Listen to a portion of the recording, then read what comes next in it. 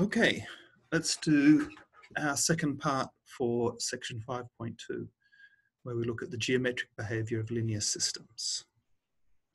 Okay, um, so last time we looked at um, six cases of different kind of eigenvalues, and we saw what the geom how that affected the geometric behavior in the phase plane. Uh, so today I want to finish up looking at the special cases and I'll explain later what I mean by a special case. So the two cases we're going to look at today is um, a case where we have a zero eigenvalue with multiplicity one, i.e. we've got two eigenvalues, zero and r, and r is not equal to zero. And then the other case is two equal real non-zero eigenvalues, r1 and r2, so both equal to some r. There are two other special cases which we won't discuss today. One we discussed last time, and that's the case where we have complex conjugate eigenvalues with real part zero. This was case four of the last module. And the other case is when both eigenvalues are zero. Uh, this uh, it's not that interesting. And if you if you are interested, you can look at it in um, it's in question 21 of the section. Okay, so what happens when we've got real distinct eigenvalues, one of which is zero? Well, we know what the general solution looks like. Uh, it looks like a constant times e to the zero t, which is just one, right? So it's c1 times um, the zero eigen uh, vector plus C2 e to the RT U2. So again, like before, we're going to let Li be the infinite line spanned by the uh, by its eigenvector. Now, any point on L1, remember this is the line spanned by the uh, zero eigenvector, is an equilibrium point. And we can just test this by just plugging it into the equation. So we have x prime, remember, is ax. Well, if we let x be uh, a constant multiple of the zero eigen vector, that's going to be on our, that's our point on line L1. Okay, we can move out the c because it's scalar multiple, it's commutative. But, so now we've got A acting on U1, but U1 is the zero eigenvector. So the action of A is to multiply by zero. So that means we get the zero uh, vector as the answer. And so that shows the derivative is zero. So that shows you that it's an equilibrium point. Now, for any point on L2, what happens depends upon the sign of R. If R is negative, then we're multiplying by a negative exponential. So the solution will move towards the origin along that line L2. Whereas if R is positive, it's going to move away from the origin along that line L2. Any other point, right, is going to move on a line parallel to L2 because any other point is a mixture of the zero eigenvector plus the R eigenvector, right? And so since the zero eigenvector part isn't going to do anything, the R eigenvector part is just going to multiply it by R in the direction of um, U2. Okay, so it's going to move along a point, or move along a line parallel to L2 towards the equilibrium point, which is the intersection of that line with the line L1. Okay. Um, so the next, uh, oh, and of course, if R is, is positive, then it's going to move in the opposite direction. Okay, uh, the next two slides give a couple examples of these different cases.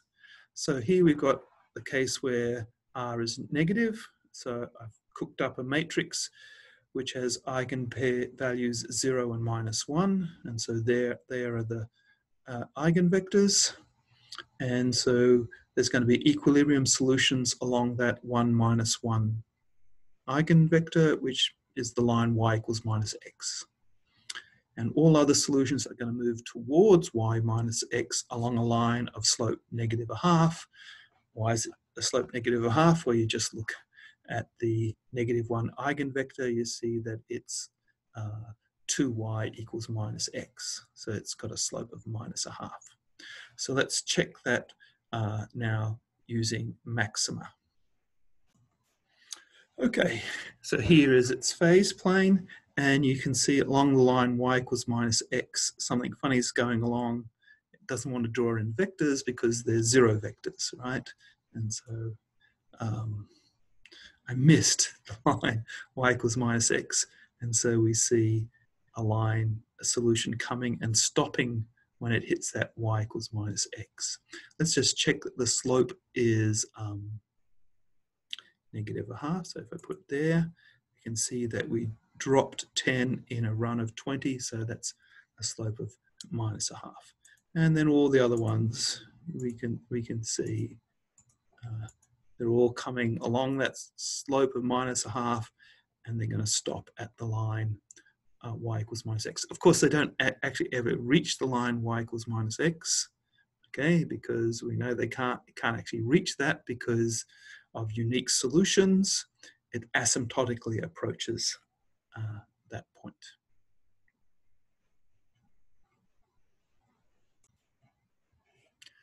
Okay, so Here's the next case where we've got uh, the positive eigenvalue.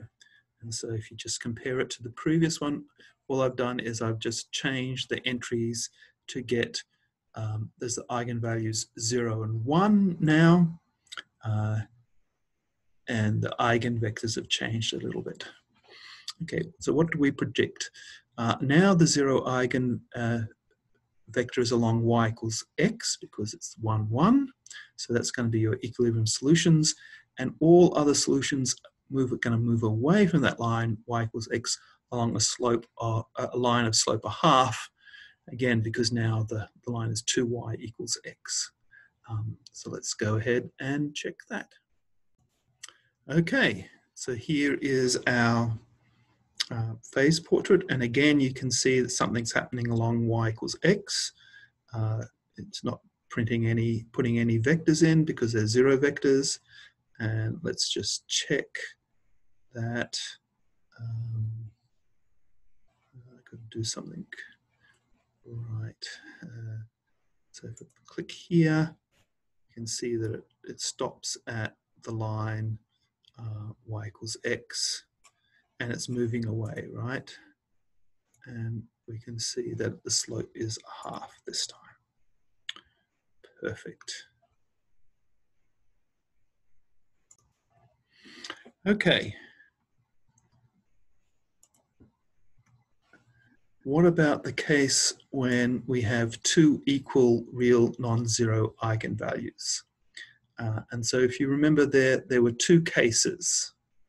So I'm going to call the, the situation where we have two equal real non-zero eigenvalues case B, and so we're going to have case BA and case BB. Um, so the first, the simplest case is if there are two linearly independent eigenvectors um, with the same of the same eigenvalue, then every vector is an R eigenvector since every vector in the plane can be written as a linear combination of those. So this we're just talking about in the two-dimensional case here. So it could be written as a linear combination C1 U1 plus C2 U2. And now we act on it by A. And so remember U1 and U2 are R eigenvectors. So the first question is just complete that proof. Okay, so what that shows is that since every vector is a R eigenvector, then every, so if you start at any point, it's going to move along a straight line, either towards the origin if R is negative, or away from the origin if R is positive. And um, so here are two examples. So in four there, I talk about an example uh, where uh, minus 1 are the eigenvalues with multiplicity 2, and I chose the simplest possible eigenvectors. By, by the thing above, I, I actually could have done used any two linear independent vectors, i.e. any two vectors which weren't linear multiples of each other, and I could have done the same thing. Okay, so what do we do? What do we predict? Well, we predict a stable equilibrium because the eigenvalues are negative, so we've got negative exponentials. Everything's going to go towards the origin, and everything's going to move in a straight line. Uh, let's check with maxima again. Okay, and so here we are. It looks as promised. Wow, so everything's coming in towards that origin there. Perfect. Okay, and here's the phase plane for the corresponding case where we have positive uh, equal eigenvalues and we have multiplicity 2 of the, uh, uh, we've got dimension 2 for the eigenspace, okay? And so, great, we see arrows, lines emanating from the origin, they're moving away, so we're seeing this unstable equilibrium. So, as promised. Okay, and so we just looked at that example there, that's the matrix 1001, the identity. Um, that's the one that has eigenpairs. Uh, it has eigenvalues just one, multiplicity two, and it's got two linearly independent Um, eigenvectors. I could have used anything. I used just the simplest ones, and that's what we check, checked out. Okay, let's look at the more interesting case now. The case one where you're probably all worried about that u star vector u star, but actually it doesn't actually turn up in the geometry. So we don't actually worry about it. So if there's only one linearly independent R eigenvector, then the solution looks like that, where we have to uh, we have to find that U star. Remember that was the the solution of A minus Ri times um, U star equals U1. That's how we found U star. Okay, what happens here? Well, if R is negative, all solutions will tend uh, along L1 to the origin, right? Because negative exponential. And um, there's no other eigenvector.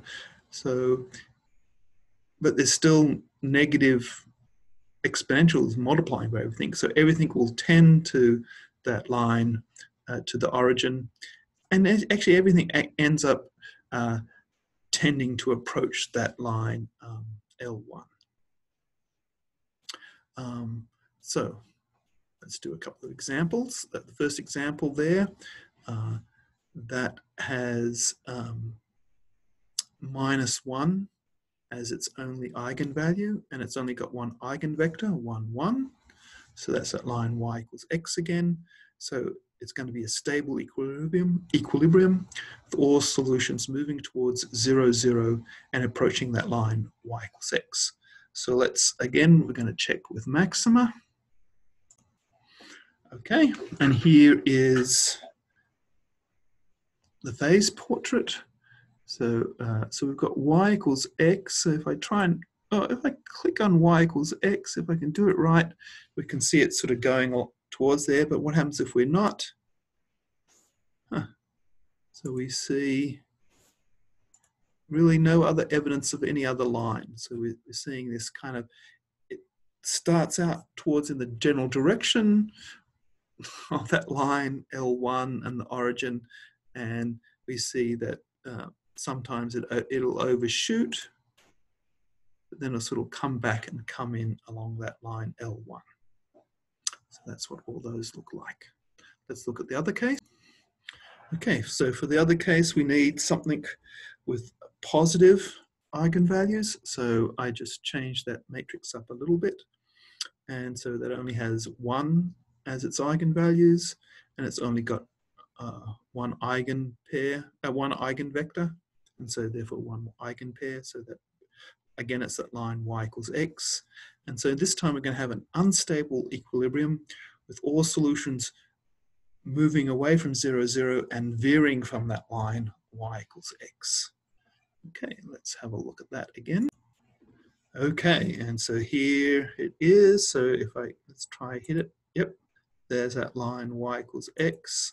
It's moving away and then you can see it sort of veering away, going away from zero, veering away from that line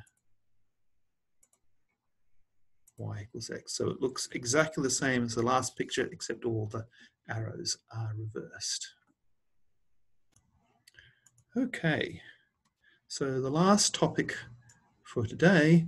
Um, so we notice that the geometry has been um, determined by the eigenvalues of the matrix A and, and also the eigen uh. But the eigenvalues are determined by the trace and determinant.